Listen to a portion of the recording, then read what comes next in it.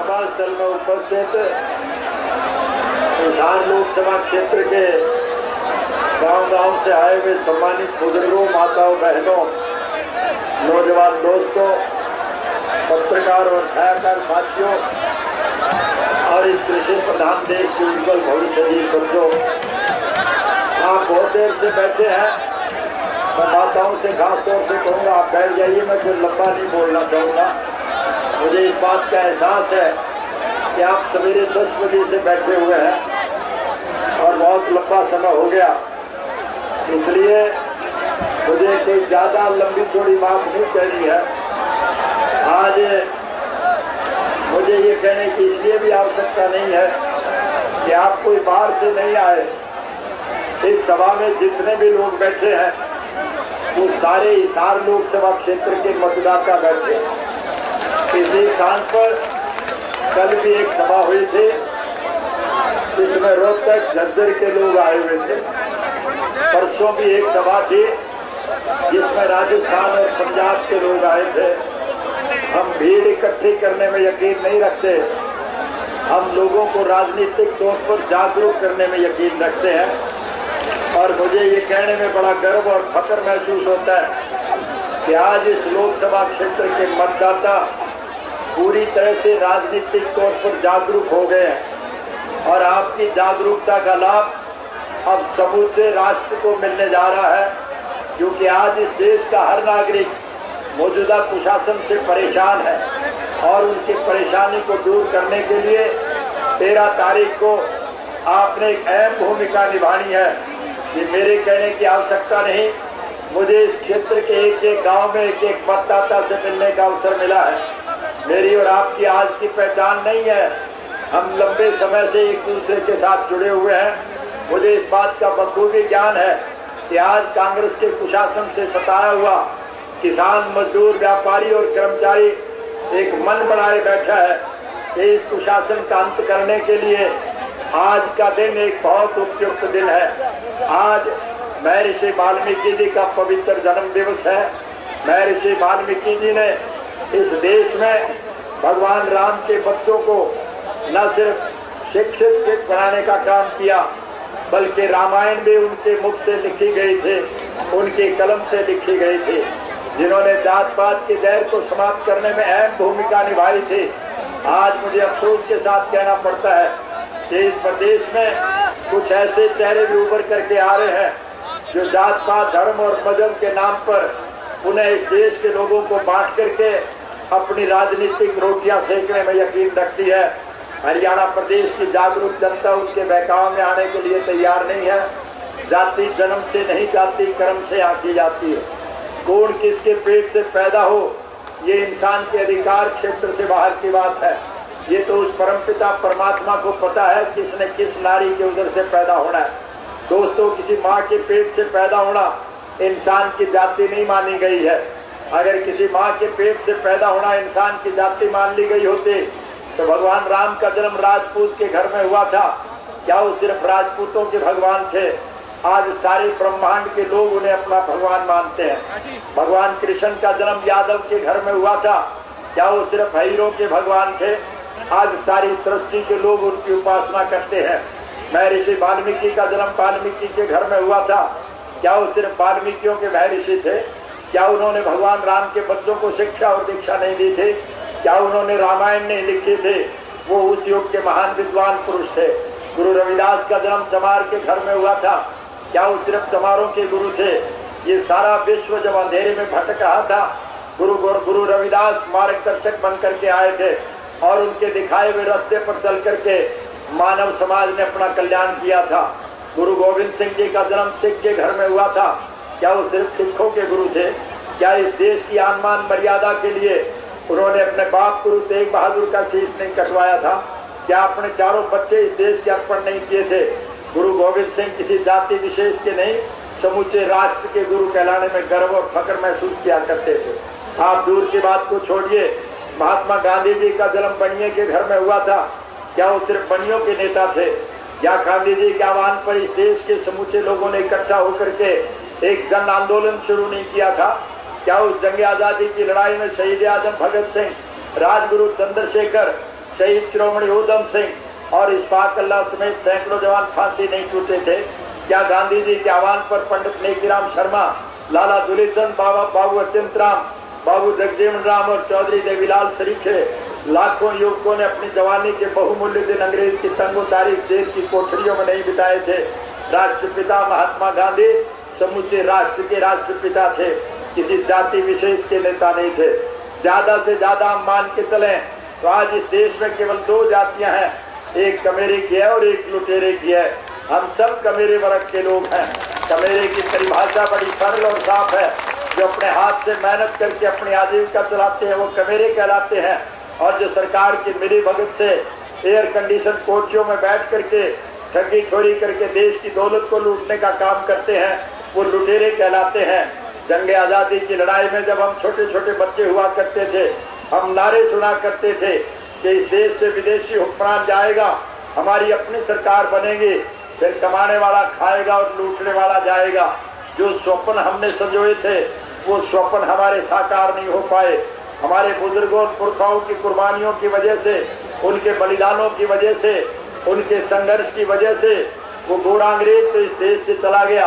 लेकिन उसकी जगह पर काले अंग्रेज़ों ने आज इस देश को पूर्ण रूप से बर्बाद कर दिया।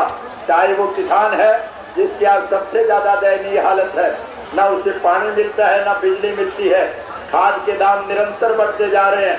अफसोस के साथ कहना पड़ता है कि जहाँ किसान को खाद पे सब्सिडी मिला करती थी, आज हरियाणा प्रदेश की सरकार स्वयं वो पैसा खा रही है। फैक्ट्रियों से सात सौ सत्तर रुपए के हिसाब से खाद खरीदी जाती है।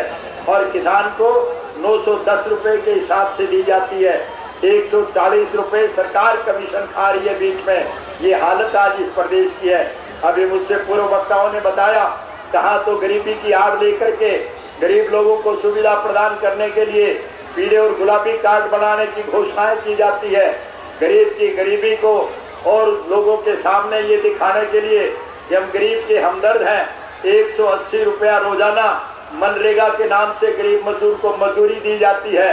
उसे गरीब मान करके एक सौ अस्सी रुपया दिया जाता है और दूसरी तरफ़ कानून बनाया जाता है कि जो छब्बीस रुपए कमाता है, वो पूंजीपति कहलाएगा, उसे और किसी प्रकार की सुविधा नहीं मिलेगी। तो इससे साफ़ ज़ाहिर है कि वो पीले और गुलाबी कार्ड काटना चाहते हैं। आज चौधरी देवीलाल की बनाई हुई पेंशन जो बूढ़े बुज़ुर्गों को हर महीने की सात तारीख से पहले पहले मिल जाती थी, आज ना उन्हें पेंशन मिलती है। बल्कि चार दिन पहले हरियाणा सरकार की तरफ़ से एक नया रेजुलेशन पास किया गया है, एक नया कानून बनाया गया है। समाज कल्याण विभाग की तरफ़ से एक नया सर्कुलर जारी किया गया है कि वृद्धावस्था पेंशन उसकी मुकर की जाएगी, जो बूढ़ा अपना एक सर्टिफिकेट इस बात का देगा कि मेरी आमदन पचास हज़ार रुपए से सालाना कम है। ये कमीशन इस प्रकार के कानून बनाना उन बूढ़ों को अपमानित करने का काम है। बूढ़े बुज़ुर्गों के बस की बात नहीं है कि वो सर्टिफिकेट जुटाते फिरे। इससे साफ़ ज़ाहिर है कि सरकार उनकी पेंशन काटना चाहती है। हम मैं आपसे एक ही निवेदन करने आया हूँ कि तेरह तारीख को वोट के माध्यम से जो वृद्धावस्था पेंशन काटना चाहते हैं, जो पीले और गुलाबी कार्ड काटना चाहते हैं एनक का बटन दबा करके उनको काटने का काम करना, ताकि सदा के लिए आपका रास्ता साफ़ हो जाए। आज आपको एक अवसर मिला है। उस अवसर को मत पूछ जाना। पृथ्वीराज चौहान ने सत्रह मरतबा मोहम्मद गोरी को छोड़ने का काम किया था और अठारहवीं मरतबा ठगी छोरी से मोहम्मद गोरी ने पृथ्वीराज चौहान को गिरफ़्तार कर लिया, उसे जेल में डाल दिया, उनकी दोनों आँखें फोड़ दी और उनके गले में अठारह तवे डाल दिए और फिर उनके जो कवि थे चंद्रवरदाई उनको कहा कि आप कहा करते थे, मेरा राजा शब्द वेदी बाण मारता है, अब उनके हाथ में तीर कमान दिया गया। और स्वयं सुल्तान जो है, दूसरी तरफ़ सातवीं मंदिर पर बैठ गया और एक तरफ़ एक घंटा तक टांग दिया कि घंटे की आवाज़ पर अगर तेरा राजा तीर मार देगा तो मैं उसे बरी कर दूँगा।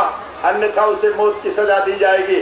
तब चंद्रवरदारी ने गीत गा करके पृथ्वीराज चौहान को आगाह किया था। चार पाँच चौबीस गज, तब चार पाँच चौबीस गज, अंगुल प्रमाण, ताऊ पर सुल्तान है, मत चूके चौहान। पृथ्वीराज ने उनके दिखाए हुए रस्ते पर चलकर उस सुल्तान के सीने में तीर मारा। उसको मरना ही था, उसको भी मार दिया था। इसलिए आपको अब एक अवसर मिला है। आप उस अवसर को चूक मत जाना। अपना एक एक मत एनक के बटन के आगे का निशान दबा करके इस प्रकार के लोगों को सबक सिखाने का काम करना। हम किसान वर्ग से जुड़े हुए लोग हैं। हमारे यहाँ पहाड़ की चोरी हुआ करती थी और बाढ़ पर किसान को जब चोर मिल जाता था तो उसकी वो गत बनाया करते थे कि आइंदा वो चोरी से तोबा कर लिया करते थे। आप खुशकिस्मत है, आपको कई चोर पार पर इकट्ठे जागे हैं। इनकी ऐसी गत बना दो कि आइंदा चुनाव लड़ने का नाम ना ले सकते आप सारे सूझ बूझ वाले मत जाता है। आपसे एक ही निवेदन करूँगा अपने अपने घरों में जाकर के एक एक मतदाता से संपर्क स्थापित करें। जो माताएँ, बहनें वोट डालने के लिए जाए, मेरा उनसे अनुरोध है हरी चुनी ओढ़ करके जाए। मैं, मैं उन दूसरे मतदाताओं से खास तौर से कहना चाहूँगा अपनी पहचान कायम रखने के लिए हरी पगड़ी बाँध लें हरी बुनियाद पहन लें या हरा कमीज पहन करके जाए ताकि आपकी एक अलग से पहचान रह सके। मुझे यकीन विश्वास और भरोसा है कि आप लोग इस देश की पुरानी परंपरा को बरकरार रखेंगे। आज संयोग से बाबू जयप्रकाश नारायण का भी जन्म दिवस है। जिन्होंने 30 साल तक इस कांग्रेस के लुटेरों ने देश को लूटने का जब काम किया था तो 1977 में बाबू जगजीवन राम ने एक बाबू बाबू जयप्रकाश नारायण ने एक नई लहर स्थापित की थी, जिनके दिखाए हुए रस्ते पर चल करके इस देश के लोगों ने कांग्रेस के कुशासन का अंत किया था और जनता पार्टी की सरकार का गठन किया था। इसी प्रकार से स्वर्गीय चौधरी देवीलाल जी ने उन्नीस सौ नवासी में एक नई जागृति पैदा करने का काम किया। सभी विपक्ष विपक्ष के लोगों को इकट्ठा करके कांग्रेस का टुकड़ा साफ़ करने का काम किया। आज पुनः आपको एक अवसर मिल रहा है। मैं आपसे विनम्र निवेदन करने आया हूँ। कि चौधरी देवीलाल सिंह पोते अजय सिंह चौटाला के पक्ष में अपनी राय लेकर के इस कांग्रेस का कलेश काटने का काम करें। मैं आपको वायदा दे करके जा रहा हूँ कि चौधरी देवीलाल जी ने एक निर्णय लिया था। कि वोट के मतदाता की इच्छाओं के अनुसार अगर कोई प्रतिनिधि उसके काम ना करे तो फिर जनता को यह अधिकार दिया जाए कि उस प्रतिनिधि को वापस बुला लिया जाए। मुझे खुशी है कि चौधरी देवीलाल के दिखाए हुए रस्ते पर आज हर मतदाता ने अमल करना शुरू किया। राजनेताओं ने उनकी बात को मान लिया और अन्ना हजारे ने भी राय काल की बात को मानने का तय किया है। मैं बड़ी सभा में आपको वायदा देकर के जा रहा हूँ कि अगर मेरी पार्टी का प्रत्याशी आपके पैमाने पर पूरा नहीं उतरेगा तो हम एक क्षण के लिए भी उसे लोकसभा में नहीं बैठने देंगे। उसे आपके पास वापस भिजवाने का काम करेंगे। हमारा मंशा सत्ता का सुख भोगना नहीं है। हमारा मंशा देश के लोगों को स्वच्छ और सुदृढ़ प्रशासन मुहैया करना है। हम सत्ता के भूखे लोग नहीं हैं। अगर हम सत्ता के भूखे लोग होते तो उन्नीस में आपके सहयोग और समर्थन से चौधरी देवीलाल जी सर्वसम्मति से इस देश के प्रधानमंत्री चुने गए थे। वो भी पाँच वर्ष तक प्रधानमंत्री के पद को सुशोभित कर सकते थे। लेकिन बाप के धनी चौधरी देवीलाल ने रघुकुल रीत सदा चली आई, प्राण जाए पर न जाए प्रधानमंत्री का पद विश्वनाथ प्रताप सिंह सौंपकर हज़ारों वर्ष पुरानी उस परंपरा को बरकरार रखा था। इसलिए दोस्तों, मैं आपसे एक निवेदन करने आया हूँ। आप सारे मतदाता यहाँ आए हुए हैं। एक एक वोट पोल करा देना। एक वोट के बिना पोल हो ना रह जाए। चुनाव हमेशा वो पार्टी जीतती है जिसके कार्यकर्ता मेहनती और लगनशील हो। तेरह तारीख को शाम को घड़ी में पाँच बजने में दो मिनट का समय बाकी हो। मेरी पार्टी के कार्यकर्ताओं के कांधे के ऊपर अस्सी, पिचासी साल के अपाइज बुढ़िया की चारपाई हो, दौड़ते हुए पोलिंग स्टेशन पर जा रहे हो, पुलिस के सिपाही ये कहकर के स्कूल का दरवाज़ा बंद कर रहे हो कि घड़ी में समय हो गया और मेरी पार्टी के कार्यकर्ता ठोकर मार के उस दरवाजे को तोड़ के बुढ़िया को पोलिंग स्टेशन में दाखिल करते हैं। वो पार्टी कभी चुनाव नहीं हरा करती है। अगर इस प्रकार से आपने एक एक वोट पोल करा दिया तो साथियों, सत्रह तारीख को जब चुनाव परिणाम घोषित होंगे और आप रेडियो पर सुनेंगे, टेलीविज़न पे देखेंगे कि हिसार लोकसभा के उपचुनाव में इंडियन नेशनल लोकदल पार्टी के प्रत्याशी अजय सिंह ने अपने खिलाफ लड़ने वाले सभी दोस्तों की जमानतें जब्त करा करके जीत हासिल की। तो फिर आपकी खुशी का कोई ठिकाना नहीं रहेगा। इस प्रकार के खुशी भरे क्षण इंसान के जीवन में कभी कभार आया करते हैं। और जैसे क्षणों से चूक जाता है, उसे फिर आजीवन पछताना पड़ता है। इसलिए आपको पछताना ना पड़े एक एक वोट पोल करा देना। ये आपकी जिम्मेवारी है। आप हर लिहाज से भी अगर देख के चलेंगे, चाहे वो प्रत्याशियों को देखें